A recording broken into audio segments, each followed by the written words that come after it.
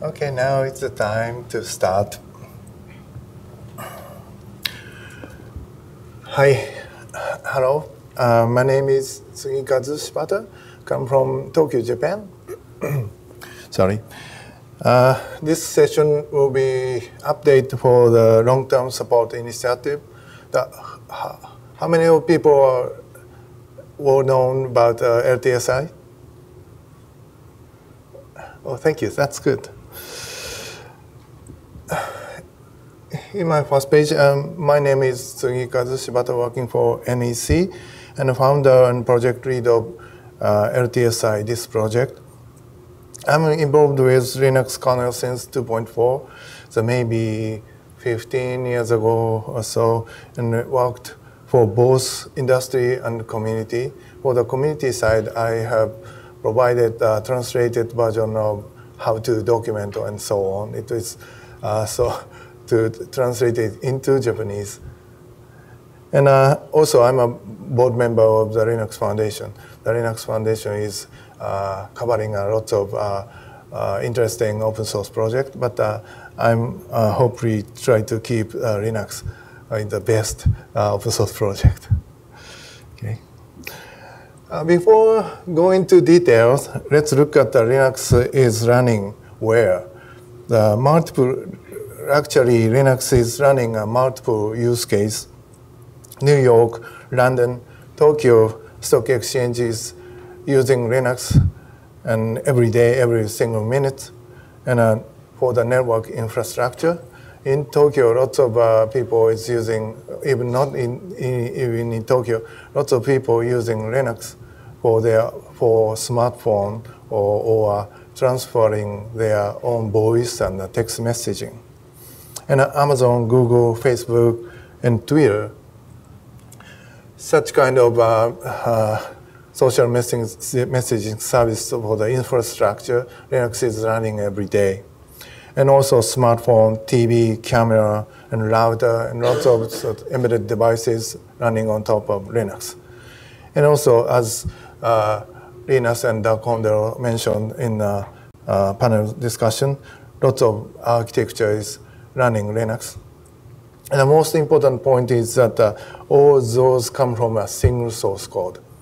So that by a single source code uh, covering whole these activities, that's uh, uh, Linux.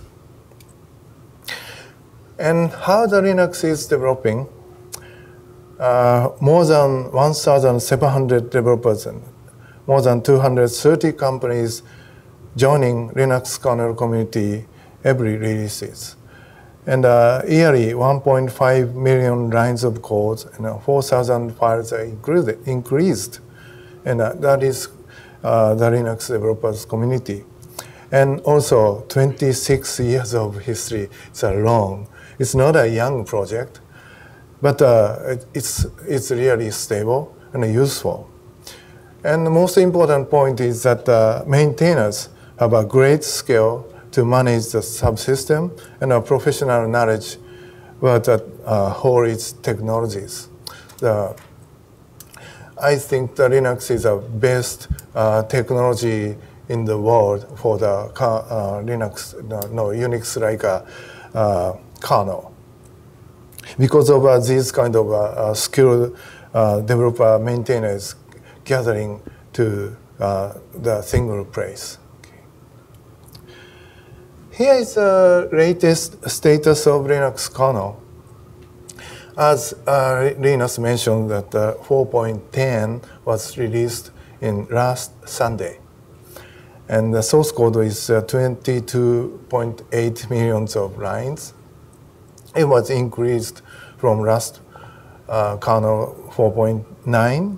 It's uh, 491 kilolines. The files were 70 or 57,000 is uh, uh, 966 files were added from 4.9 and within 70 days 70 days means that 10 weeks within 10 weeks this development will happened. And that is uh, continuously uh, happening. And also current uh, stable kernel is 4.9.11, and the development kernel is in the merge window toward 4.11-RC1. I will uh, uh, explain uh, some more details for this, uh, this kind of development uh, process. So how many kernel is providing every year?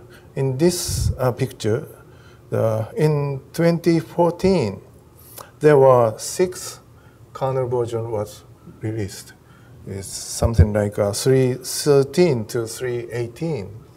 In uh, 2015, there were five releases will happen, and uh, 2016 was six releases will happen. So yearly, five or six versions are released constantly. Within uh, 65 days to 70 days, from uh, 4.7 to 4.10, it took 70 days. It, just 70 days. The same release time frame, same release span. It is a kind of a well-coordinated development process. And also, uh, this is a Linux development policy that the upstream is only the place to accept the patches because of the Linux is finally decided to the propose the patch into mainline or not by a, a reviewed uh, skilled maintainer and tested with other proposal uh, to confirm without any conflict conflicts and we'll coordinate the development process over thousands, thousands of developers so that lots of developers get together, review the every single code, and merge into Linux. That's upstream. As I uh, figure out this picture, upstream includes always new features, proposed uh, experimental features, plus fixes, that is bugs and security fixes. These all uh, patches uh, uh, come to the single place, that is the upstream, so that upstream is a single place to accept the patches. Okay. Here is the Linux development process. We are in the merge window of two weeks uh, because our 410 was uh, uh, released in last Sunday. And uh, mostly uh, after merge window closed, Dash RC 1234 was released in the every uh, week end. The Linux is most, mostly releasing Dash RC X in, on Sunday. So the developer start the result of the uh, merged source code and check it and send patches or fixes. And then Linux will merge on Sunday. And then next Monday, developers start. That kind of weekly uh, development process is happening in, in most of the last few couple of uh, the, the uh, kernel releases. And, and this time, Dash RC8 was released, and then 4.10 was released, so that two weeks of merge window and also eight weeks of uh, stabilization. That makes uh, 10 weeks. That's the development process of Linux kernel. It's really uh, well coordinated. And here is uh, uh, source code growth from uh, 4.0 to 4.10. It's not so much understandable. the lines of code is uh, too much, but uh, you can see the constantly up up the source code. That is, this is still 26 years later. Still, this uh, code is growing. This is the power of uh, Linux kernel community. Okay. Uh, here is a rapid release cycle. Yearly five times or six times uh, kernel release means that uh, we, are, we have a chance to uh, more code merge into the Linux. In other uh, project, maybe six months release cycle, that means uh, yearly two times, so two chance to merge the new patches. So that, that's uh, uh, 60, uh, 26 years of uh, experience of Linux kernel development. So we, may, we have many chance for our own products to send parts to upstream and merge into that. Uh, that is, uh, uh, it's good things, but uh, on the other hand, we need have deeper knowledge to pick right kernel version because of uh, yearly five times and uh, need to find out if this one is the best one to use long term. That is a problem for industry purpose. But for uh, people who don't want to use uh, experimental uh, release but uh, wanted to use the latest kernel, for that purpose, there is a stable kernel release. This one is called uh, 4.n.1, something like that. But uh, a lifetime is uh, just uh, for the one version, like this picture say. And uh, when the next uh, version was released, then stable release was happen, then uh, all the stable kernel becomes end of life. This is uh, one of the uh, uh, best kernel for the uh, people who wanted to use latest version but wanted to don't wanted to use current experimental releases. But this is lifetime is so short, so not so much use, useful for uh, industry purpose. Uh, I will uh, talk about a more longer term uh, release, but uh, let's get back to uh, latest status. I mentioned 4.10 is the latest release kernel, but the current stable kernel is 4.9.11. That means here is a current stable kernel. And then uh, 4.10.1 will, will be released, then 4.9, maybe 11 or 12 will be uh, uh, end of life. And now is the time of uh, merge window. That is right here. And then maybe two weeks later on Sunday, four point eleven dash R C one will be released. That, that is a kind of uh, expectation will be really easy. That is uh, mentioned by uh, Linus Torvalds in the uh, panel in this morning. Well, that people mostly interested in LTS that Linus also mentioned is that uh, extended release for stable version that is maintaining uh, two years and pick one version per year. That is called LTS, That's as uh, Linus mentioned this morning. So that once uh, LTS decided, that will be continued to maintain in two years. And also in parallel, stable release will happen. And uh, each of our stable release patches in backporting to on top of LTS. That is uh, LTS. And uh, this is uh, maintained by Greg Hartman. He's uh, a fellow of the Linux Foundation, so that, that is uh, really neutral activities. Okay. So why LTS? it's only the tree to get fixes from the community. The community will uh, provide a lot of fixes on, on top of uh, upstream, and that will be backported on top of LTS. And hmm. Okay. This, this fix will be released a number of times and should be applied frequently. Uh, security and bug fixes are being more important for industry purpose. And okay, so what is uh, how many versions in, uh, currently provided from the community? This is the list.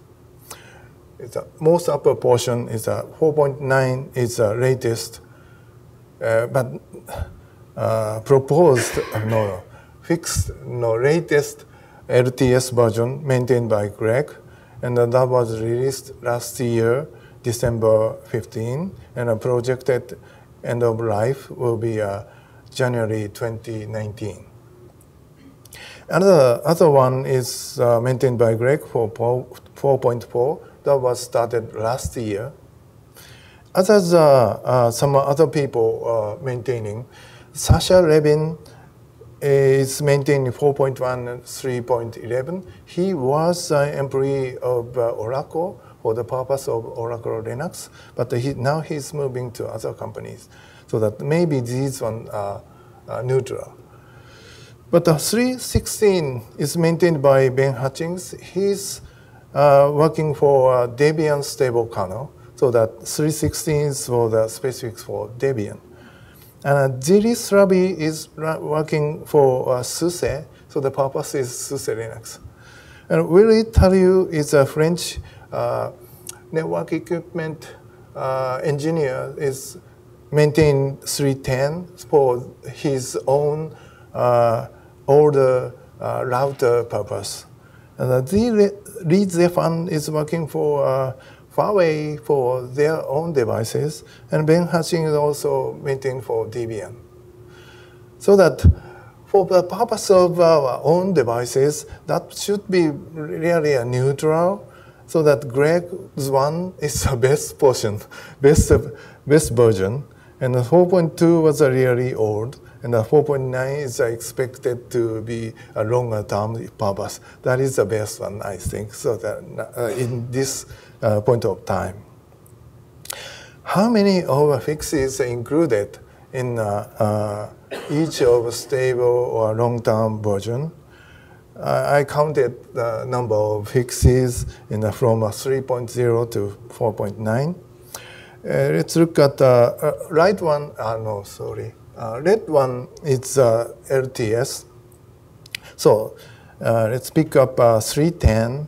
That, would, that is still maintained, and 5,727 fixes are included in 104 uh, releases. So if we can backport these, these 5,000 patches on top of our own product, is so hard. But uh, using this one is uh, really easy. That's the uh, uh, value of LTS. And the 310 is uh, really old. So the 4.4 was released in just last year. The uh, spent one about one year. That is uh, also included 3,600 of patches. So the, this is real, real value of using LTS. And also stable version is mostly less than 1,000 patches in uh, 70, 70 days in a lifetime.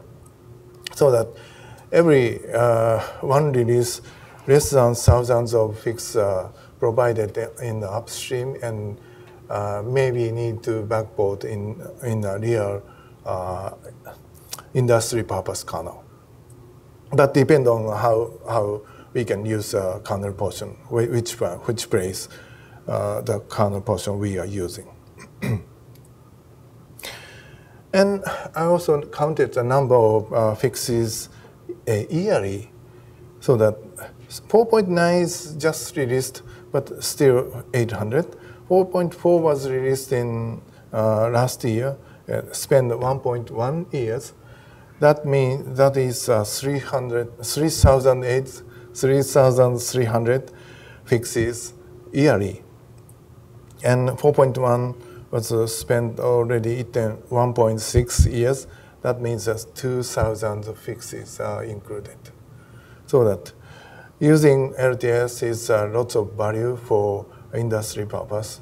That is a uh, uh, point what I wanted to tell this. so it's, we can understand LTS is really valuable. That what is uh, LTSI? LTSI is an open source community to cre create and maintain Linux kernel for a long time based on LTS and we'll, we will have a chance to more patch to be included into L, on top of LTS, that is LTSI. And it's a same, same lifetime. And also we, we have a, uh, having uh, a lot of uh, workshop and a place where the discussion each other or the uh, issue and problem happen and then some other party have a same problem and they have a workaround that will be able to share using LTSI mailing list or workshop and so on. Here is a picture what is LTSI and LTS. Most bottom portion, LTS have a, a release one version per year and maintain two years, and a frequently and large number of bug fixes are provided from the community. We are mostly using uh, Greg Hartman's LTS, uh, always using that. And on top of LTS, we will be able to add vendor required features as a patches and share status information problem among, among industry people, about mailing list and uh, workshop, and huge testing by contributors. Uh, there is number of company uh, seriously using LTSI, so that that company will testing the uh, LTSI's development process and uh, report back to the, the, mailing list. That will be one of value for the uh, industry purpose. And also we have a test framework, that name called Fuego, that maintained by uh, Tim Bird. He had uh, uh keynote, no, uh, organizer of uh, this ELC. And we have providing help developer for upstream. The number of people ask us, and then Greg Hartman help them to send patches to upstream. We have this kind of framework of LTSI. Here is the history. we have established LTSI activity in 2011 at the ELC Europe, uh, Prague. And that was started for the purpose of uh, Android, because of uh, in that time, Google uh, provided the Android uh, distribution every six months with uh, every, every time other kernel version is used so that uh, we have uh, lots of problem every time six months release cycle, new kernels happen, how to stabilize, how to testing that for by each individual company. That was so hard that people uh, get together and tr try to create this LTSI uh, project. And after that, we have discussed with the Yocto project that was uh, presented by uh, Ahmad Susu in this keynote. The Yocto, we have discussed with Yocto, and uh, Yocto has uh, in, included uh, LTSI kernel for them. And also, we have had a workshop and session to share information. Most of uh, every uh, Linux Foundation's event. And also, we have released this kind of kernel version for yearly basis. That's a history of LTSI. Sorry. And the shape of uh, LTSI project, this is a really small staff we have. Three, four staff is uh, not working for full time, but uh, coordinate workshop and session at Linux, most of the Linux Foundation's conference to share between the people what the status of Linux kernel development, how to, what's the value of LTS. Uh, and also, we invited uh, Greg Hartman as a maintainer of even for LTSI, for, so that Greg is maintaining LTS and also LTSI. That's a really a great situation. And uh, we are not paying any money for him because of his uh, fellow of the Linux Foundation. and we are working with upstream kernel community and uh, find the issue of uh, how the kernel community is looking at industry and uh, we are discussing with the kernel community the situation of uh, industries, how industry is doing hard, but uh, what is the thinking of uh, Linux kernel community. And in the inter we are standing on intermediate stage and uh, try to uh, make, uh, create, uh, try to say our opinion to community and try to uh, transfer the, what is community's thinking into industry. That is our position.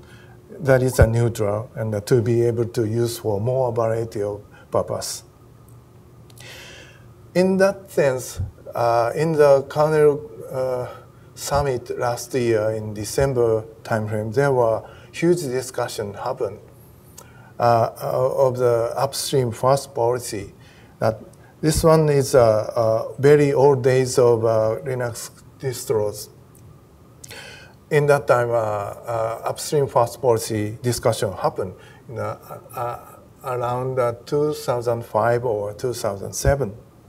In that time, uh, there were uh, SUSE Linux or Red Hat Linux trying to pro provide their own distribution, and then they pick uh, one version for uh, Linux kernel, and then uh, new fixes will be backported in the green, green uh, circle to, backport, and then user will use such downstream kernel. But uh, in that time, there was not uh, enough feature is implemented into Linux kernel, so the users wanted to add their own patches to for the next version. So they users are asking, always asked, to uh, downstream distributors. It's really easy. But so that distributor happen that they need to uh, pick the patches from upstream and also users. It is so hard, so that, that that's a lot of discussion happen, and then community and distributor decided the upstream first policy. That is like this. All the people wanted to add their own patch to the next kernel, then send patch to upstream to merge into a newer version. And then newer version will be used by the distributor. And then user can use distributor's kernel. This is the upstream first policy.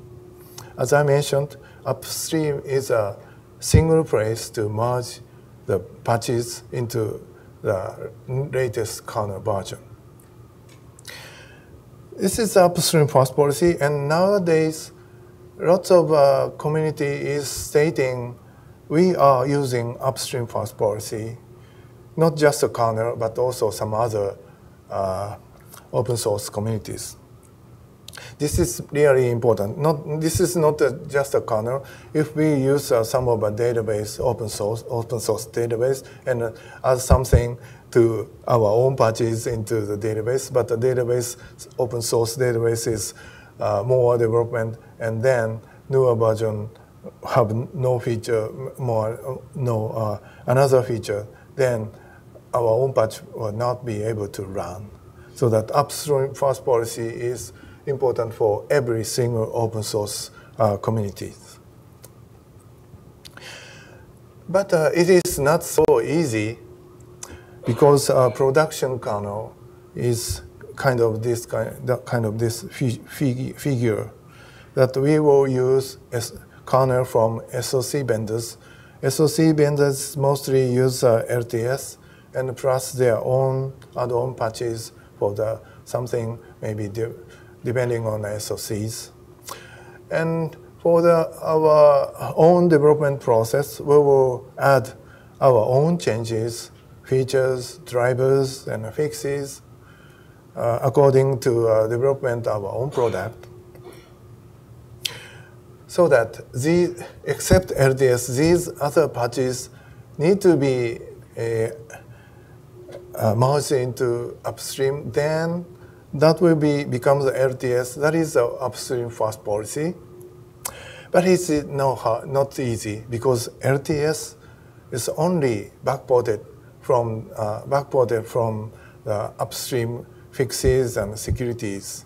No chance to add the new feed, new our own drivers and fixes, so that LTS try to find a chance to merge these patch into LTSI tree on top of LTS. That will cause a, a more chance to include the, our own features to our own uh, product. Here is the development process of LTSI. Once LTSI version was fixed, then we will announce preparation uh, time frame. That will take uh, four to six months.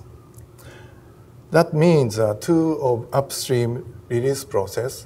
Within this four to six months, you have this kind of, of our own changes to be upstreamed, and then we will open up the merge window. That during that merge window time frame, we will be able to send patch to our LTSI mailing list. That will be a chance to merge such latest upstream features into on top of all the LTS version. That is the value of LTSI. And we will have a one or two months of merge window process. And then Greg will review each individual patches proposed for uh, every industry people. And then merge into uh, LTSI tree and then release uh, dash RC1. And after Dash RC1 was released, one month of uh, validation uh, period will happen, and then release it. That is a LTSI uh, process. Okay. Here is the latest uh, uh, plan of uh, this year's LTSI development. We are in the this time frame. Today is a day for announcement of uh, uh, uh, this year's LTSI development. We will start uh, preparation phases for six months. That means we, we will have a chance for 4.11 and 4.12. Your patch can be uh, proposed to Linux kernel community and then we will open up our own merge window from early July to end of July. And within that month, uh, we will review, uh, Greg will review the proposed patch and merge it into LTSI tree. And, and validation period will be one month the during August timeframe and then that will be released in September, early September, hopefully, if any of uh, uh, big big problem uh, will not happen. And then we will uh, ask uh, Yocto project to be included their new release in Yocto 2.2. That will be hopefully happening in uh, end of October. And then you will be able to use LTSI with Yocto uh, in, on top of 4.9 plus the, your own patches. That is a, a current uh, plan.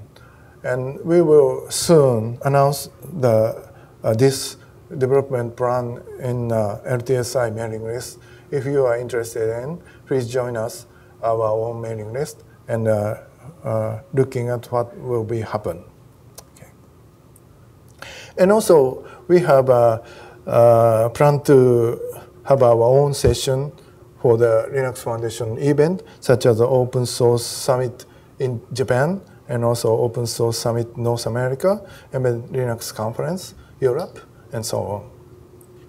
Okay.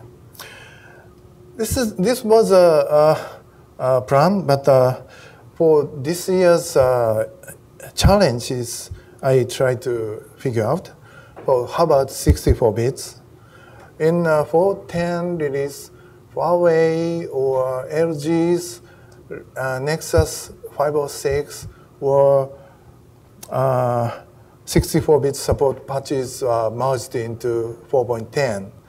And some other devices like uh, Renesas or some other uh, SoCs, 64-bit patch also uh, merged into 4.10, not just uh, 4.9 so that that will be a chance to backport to on top of 4.6, 4.9 LTSI version. And uh, another point is that uh, that will be started that the both 32 bits and 64 bit era.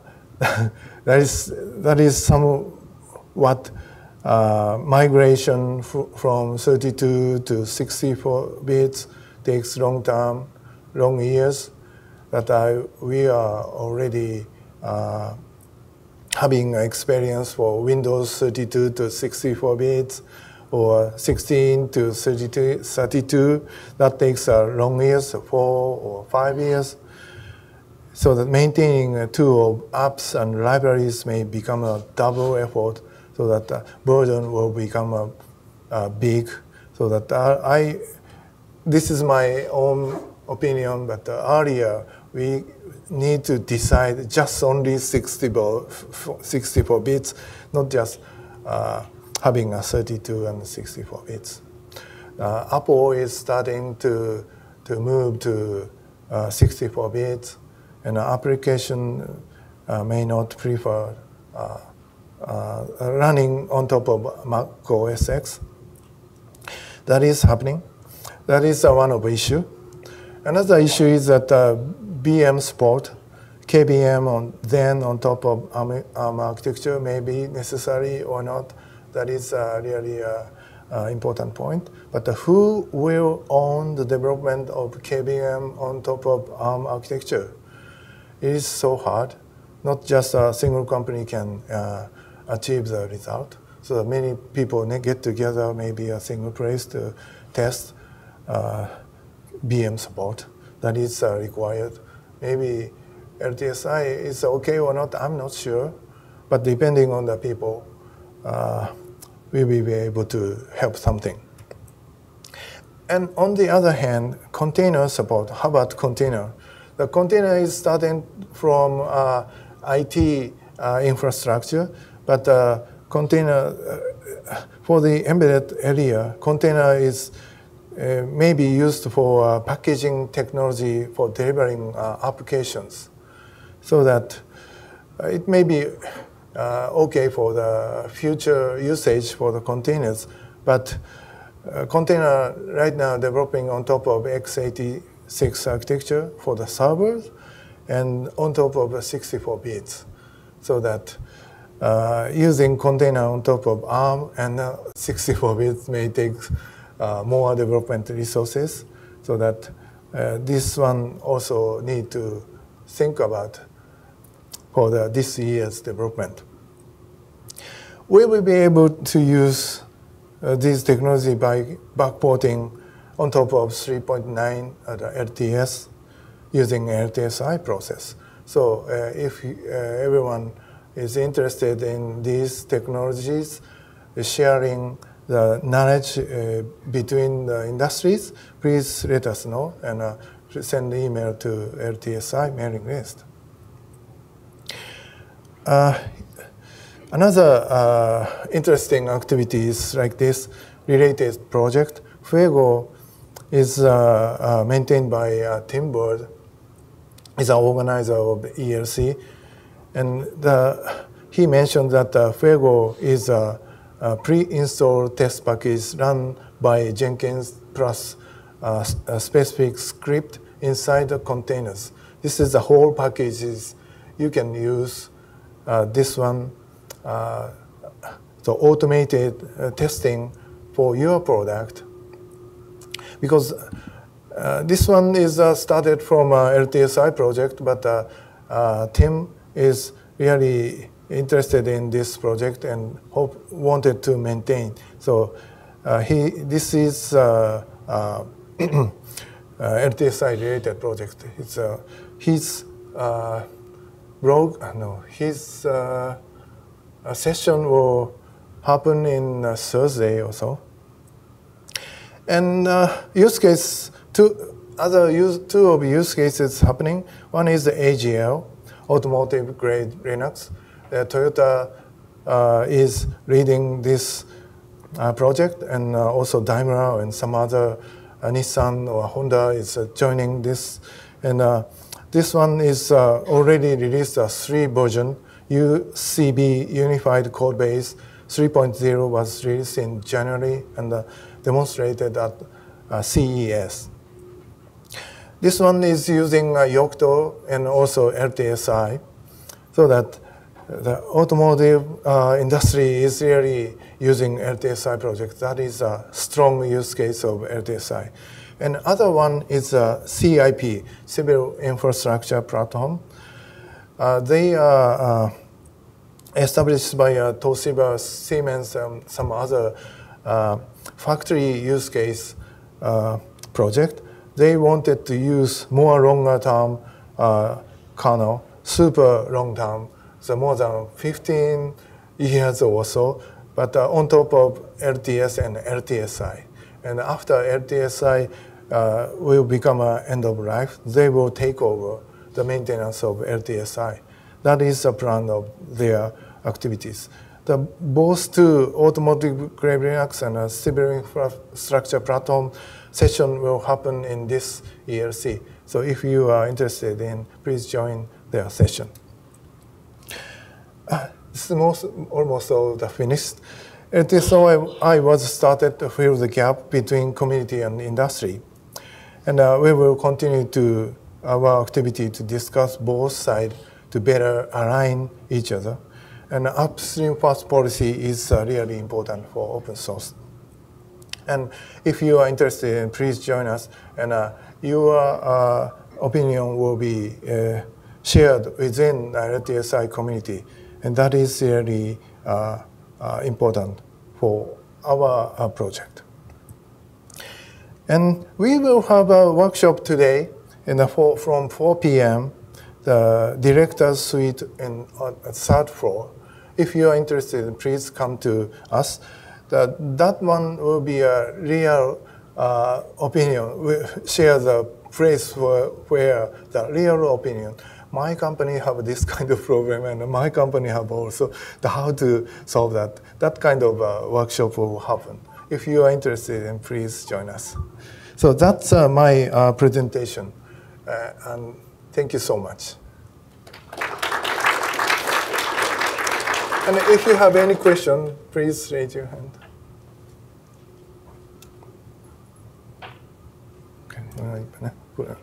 What? What? What? No, this.